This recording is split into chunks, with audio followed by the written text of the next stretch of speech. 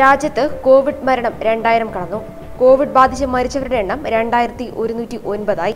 അതേസമയം രോഗബാധിതരുടെ എണ്ണം അറുപതിനായിരം കടന്നു. ഇന്ത്യയിൽ അറുപത്തിരണ്ടായിരത്തി തൊള്ളായിരത്തി മുപ്പത്തിയൊൻപത് പേർക്കാണ് ഇതുവരെ കോവിഡ് ബാധിച്ചത്. പത്തൊമ്പതിനായിരത്തി മുന്നൂറ്റി അൻപത്തിയെട്ട് പേർക്ക് രോഗം ഭേദമായി ഇരുപത്തിനാല് മണിക്കൂറിടെ നൂറ്റി ഇരുപത്തിയേഴ് പേർ വൈറസ് ബാധിച്ച് മരിച്ചു. മൂവായിരത്തി ഇരുന്നൂറ്റി എഴുപത്തിയേഴ് പേർക്കാണ് രാജ്യത്ത് പുതുതായി രോഗം ബാധിച്ചത്. മഹാരാഷ്ട്രയിൽ കോവിഡ് രോഗികളുടെ എണ്ണം ഇരുപതിനായിരം കടന്നു. ആയിരത്തി ഒരുന്നൂറ്റി അറുപത്തി അഞ്ച് പേർക്കാണ് ഇന്നലെ രോഗം സ്ഥിരീകരിച്ചത്. ഇതോടെ ആകെ രോഗികളുടെ എണ്ണം ഇരുപതിനായിരത്തി ഇരുപത്തി എട്ടായി നാൽപ്പത്തിയെട്ട് പേരാണ് കഴിഞ്ഞ ദിവസം സംസ്ഥാനത്ത് മരിച്ചത്. ആകെ മരണസംഖ്യ എഴുന്നൂറ്റി എഴുപത്തി ഒൻപതായി ധാരാവിയിൽ ഇന്നലെ ഇരുപത്തഞ്ച് പേർക്ക് രോഗം സ്ഥിരീകരിക്കുകയും ഒരാൾ മരിക്കുകയും ചെയ്തു. രോഗികളുടെ എണ്ണത്തിൽ രണ്ടാമതുള്ളത് ഗുജറാത്താണ്. മുന്നൂറ്റി തൊണ്ണൂറ്റിനാല് പേർക്കാണ് കഴിഞ്ഞ ദിവസം രോഗം സ്ഥിരീകരിച്ചത്. ഇതോടെ ആകെ രോഗികളുടെ എണ്ണം ഏഴായിരത്തി എഴുന്നൂറ്റി തൊണ്ണൂറ്റി ഏഴായി നാനൂറ്റി എഴുപത്തിരണ്ട് പേരാണ് ഗുജറാത്തിൽ കോവിഡ് ബാധിച്ച് മരിച്ചത്.